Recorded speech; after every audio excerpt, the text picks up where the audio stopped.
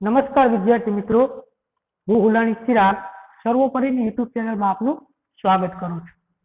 હવે વિદ્યાર્થી મિત્રો, ધોરણ સાતની અંદર વિજ્ઞાન અને ટેકનોલોજી અને એની અંદર પાઠ નંબર બે એટલે કે પ્રાણીઓમાં પોષણ. અને ભાગ નંબર છે મિત્રો આપણો બે. હવે મિત્રો, આપણે ભાગ એકની અંદર થોડી ચર્ચા કરી ચૂક્યા છીએ કે ખોરાકના ઘટકો કયા કયા છે? બરોબર? ત્યાર પછી પાચન ક્રિયા કોને કહેવાય? કે જટિલ સ્વરૂપમાંથી સરળ સ્વરૂપમાં રૂપાંતર કરવાની ક્રિયાને પાચનની ક્રિયા કહેવામાં આવે છે. ત્યાર પછી આપણે જોયું હતું મિત્રો કે ખોરાક મેળવવાની જુદી જુદી પદ્ધતિઓ. એટલે કે અલગ અલગ પ્રાણીઓ કઈ કઈ રીતે પોતાનો ખોરાક મેળવતા હોય છે. અને ત્યાર પછી આપણે પ્રવૃત્તિ નંબર બે એક અને એની અંદર આપેલ કોષ્ટકની પણ આપણે માહિતી મેળવી ચૂક્યા છીએ. અને લાસ્ટમાં આપણે કાળા માછલી વિશે પણ અભ્યાસ કર્યો. અને હવે, વિદ્યાર્થી મિત્રો, આ ભાગ બે ની અંદર આપણે આપણો જે ટોપિક નંબર બે પોઈન્ટ બે પાઠ્યપુસ્તકની અંદર આપેલો છે કે મનુષ્યમાં પાચન. તો એના વિશે આપણે અભ્યાસ કરીએ. તો વિદ્યાર્થી મિત્રો, આપણે અહીંયા બોર્ડ ઉપર તમે આકૃતિ જોઈ શકો છો. તો આપણો ટોપિક છે કે મનુષ્યમાં પાચન. એટલે કે digestion system in women body એટલે કે મનુષ્યના શરીરની અંદર ડાયજેશન સિસ્ટમ પાચનની ક્રિયા. તો હવે આપણે જોઈએ. તો આપણે ખોરાક મોં દ્વારા ગ્રહણ કરીએ. તો મિત્રો, અહીંયા તમે આકૃતિ અંદર જોઈ શકો છો કે એ મોં દ્વારા આપણે ખોરાક ગ્રહણ કરતા હોઈએ જેને મુખ ગુહા કહેવામાં આવે તો એ મુખ ગુહાની અંદર શું શું આવેલું હોય છે? તો એ મુખ ગુહાની અંદર દાંત જીભ વગેરે આવેલા હોય છે.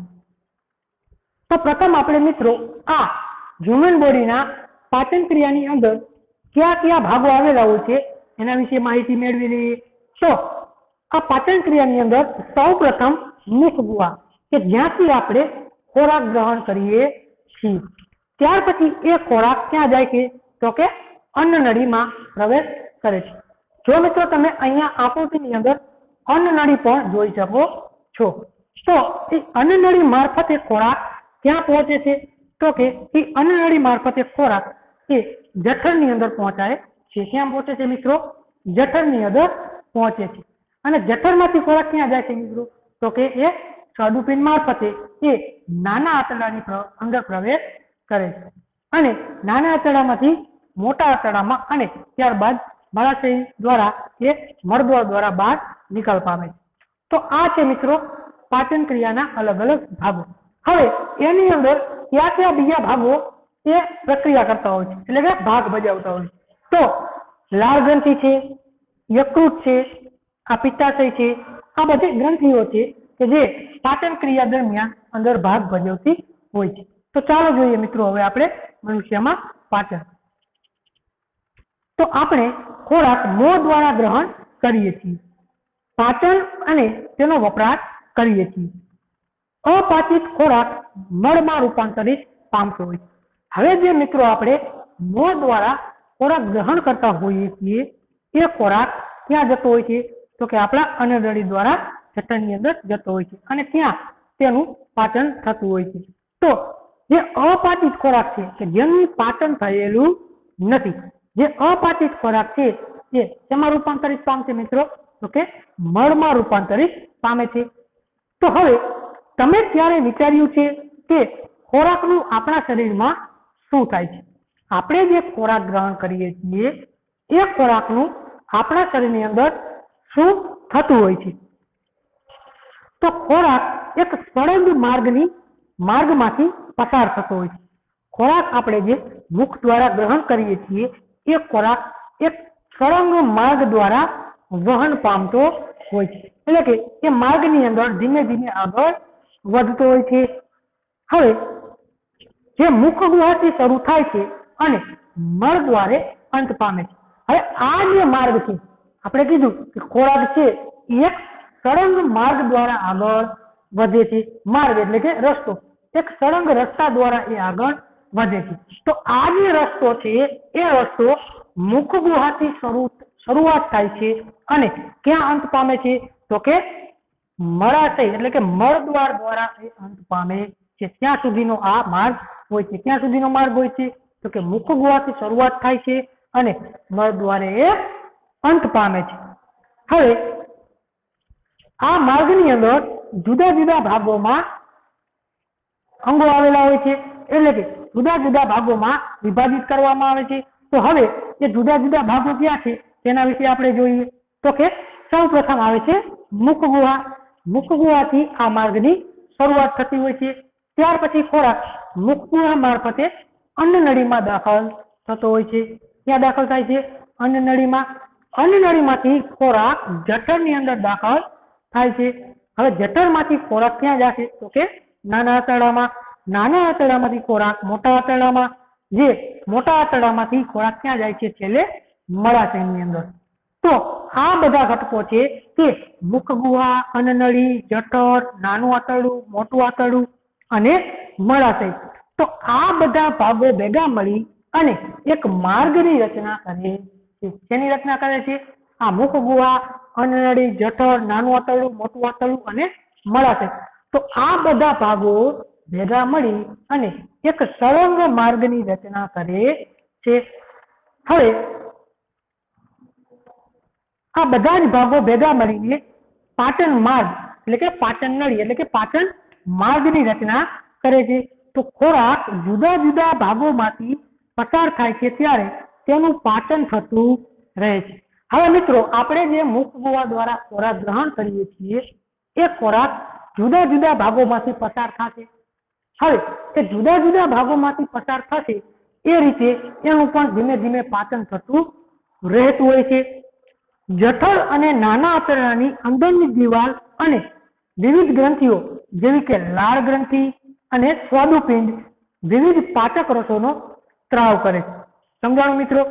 આ જે જઠર છે, જઠર અને જે નાનું આંતરડું આ જઠર અને નાના આંતરડાની જે અંદરની દિવાલો હોય છે તે અંદરની દિવાલો તેમજ આ લાળ ગ્રંથિ યકૃત અને સ્વાદુપિંડ. લાળ ગ્રંથિ યકૃત અને સ્વાદુપિંડ તેમજ જઠર અને નાના આંતરડાની અંદરની દિવાલો. તે શું કરે છે? તો કે પાચક રસોનો સ્ત્રાવ કરે છે. એટલે કે એવા રસો કે જે પાચન ક્રિયામાં મદદરૂપ થતા હોય એવા રસોનો એ અંદર સ્ત્રાવ કરે છે. સમજાણું મિત્રો? હવે આગળ જોઈએ કે આ પાચક રસો જટિલ ઘટકોનું સરળ ઘટકોમાં રૂપાંતર કરે છે. સમજાવો મિત્રો? કે આ લાળ ગ્રંથિ યકૃત, સ્વાદુપિંડ તેમજ જઠર અને નાના આંતરડાની જે અંદરની દિવાલો છે, આ અંદરની દિવાલો શું કરે છે? તો કે પાચક રસોનો સ્ત્રાવ કરે છે. તો આ પાચક રસોનું કાર્ય શું? તો કે અગાઉ આપણે ભણી ગયા કે એ પાચક રસો છે કે જટિલ ઘટકોનું સરળ ઘટકોમાં રૂપાંતર કરે જેને શું કહેવામાં આવે છે મિત્રો? તો કે પાચનની ક્રિયા કહેવામાં આવે હવે આગળ જોઈએ કે પાચન માર્ગ અને પાચન ગ્રંથિઓ સાથે મળીને પાચન તંત્ર મળે છે. સમજાવો મિત્રો? આ જે પાચન માર્ગ થયો, કયો પાચન માર્ગ? તો કે મુખ ગુહા અન્નનળી જઠર નાનું આંતરડું મોટું આંતરડું અને મળાશય આને પાચન માર્ગ કહેવામાં આવે છે. તેમજ જે પાચન ગ્રંથિઓ છે, કઈ કઈ? તો કે લાળ ગ્રંથિ, યકૃત અને સ્વાદુપિંડ. બરોબર? આ પાચન ગ્રંથિઓ છે. તો આ પાચન ગ્રંથિઓ અને પાચન માર્ગ ભેગા મળી અને તેની રચના કરે છે? તો કે પાચન તંત્રની રચના કરે છે. ચાલો લખીએ આપણે.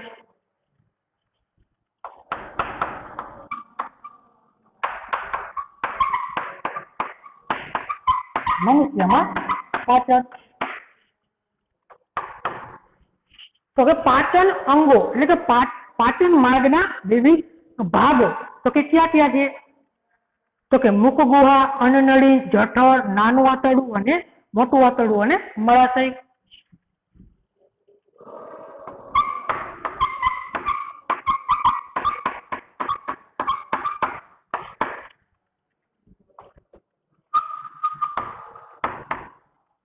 ગુહા અન્નનળી જઠર,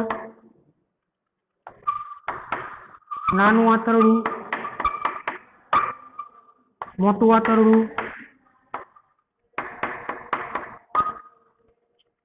અને મળાશય આ હતા પાચન અંગો.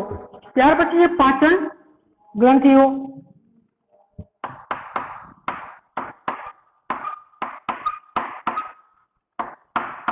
તો પાચન ગ્રંથિ કઈ કઈ છે?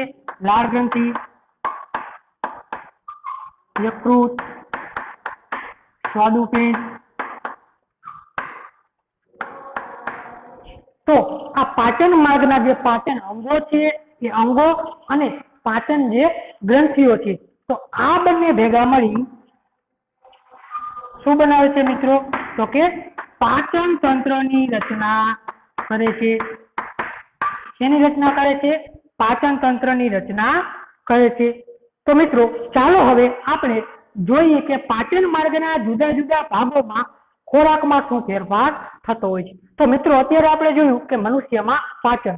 તો મનુષ્યમાં પાચન, તો આપણા શરીરની અંદર કેટલાક વિવિધ ભાગો આવેલા હોય છે. એ ભાગોને આપણે આકૃતિ દ્વારા સમજ્યા કે મુખગુહા છે, જઠર છે, અન્નનળી છે, નાનું આંતરડું છે, મોટું આંતરડું છે મળાશય છે અને મળદ્વાર છે તો આ પાચન માર્ગના જુદા જુદા ભાગો છે. આપણે જે ખોરાક મુખવાટે લઈએ છીએ મુખડુઆ દ્વારા લઈએ છીએ, એ ખોરાક ધીમે ધીમે આ ભાગો દ્વારા આગળ વધતો જાય છે. અને છેલ્લે એ મળાશયમાંથી મળદ્વાર મારફતે બહાર નિકાલ પામતો હોય છે. તો આ ખોરાકની અંદર પાચન થવા માટેની વિવિધ ગ્રંથિઓ આવેલી હોય છે. તો કે લાળ ગ્રંથિ છે, યકૃત છે, સ્વાદુપિંડ છે, તેમજ જઠર અને નાના આંતરડાની દિવાલો એ શું કરે છે? તો કે પાચક રસોનો અંદર સ્ત્રાવ કરે છે. એ પાચક રસો શું કરે છે? તો કે ખોરાકનું પાચન કરે છે. એટલે કે જટિલ ઘટકોનું સરળ સ્વરૂપમાં રૂપાંતરિત કરે છે. એટલે કે પાચનની ક્રિયા કરતો હોય છે. તો આ પાચન માર્ગના વિવિધ ભાગો જેમ કે મુખ ગુહા જઠર અન્નનળી નાનું આતળું મોટું આતળું અને મળા છે. તો આ પાચન માર્ગના અંગો છે. અને પાચન ગ્રંથિ કઈ કઈ છે? તો કે પાચન ગ્રંથિ લાળ ગ્રંથિ છે. યકૃત છે અને સ્વાદુપિંડ છે આ બધી પાચન ગ્રંથિઓ છે તો આ મુખ્ય પાચન પાચન ભાગોના જે વિવિધ ભાગો છે એ ભાગો અને આ પાચન ગ્રંથિઓ છે તો આ ભાગો અને આ ગ્રંથિઓ ભેગા મળી અને શેની રચના કરે છે મિત્રો? તો કે આખા પાચન તંત્રની રચના કરે છે. શેની રચના કરે છે? પાચન તંત્રની રચના કરે છે. તો હવે અલગ અલગ ભાગોમાં ખોરાકનું શું થતું હોય છે. એના વિશે આપણે મિત્રો ભાગ ત્રણની અંદર ચર્ચા કરીશું. તો આ ભાગની અંદર આપણા શરીરના પાચન તંત્રના અલગ અલગ ભાગો વિશે પરિચિત થયા. તો મિત્રો, આ આકૃતિ તમારે નામાંકિત સહિત, બરોબર, તમારે હોમવર્કની અંદર ફરજિયાત દોરવાની રહેશે. અને એના જે પાચનના જે ભાગો છે, જે પાચન અંગો છે મુખગુહા જઠર, અન્નાળી નાનું આતળું મોટું આંતરડું મળાશય બરોબર? આ પાચન ભાગોના જે અંગોના નામ છે, એ તમારે ક્રમમાં દર્શાવવાના છે. અને મિત્રો, ત્યાર પછી પાચન ગ્રંથિઓ કઈ કઈ છે, એ પણ તમારે લખવાનું છે. તો આ પાચન અંગો અને પાચન ગ્રંથિઓ ભેગી મળી અને શેની રચના કરે છે, એ પણ તમારે હોમવર્કની અંદર ફરજિયાત લખવાનું રહેશે. તો હવે અલગ અલગ ભાગોમાં એ ખોરાકનું શું થતું હોય છે, એના વિશે ચર્ચા આપણે ભાગ ત્રણની અંદર કરીશું. નમસ્કાર.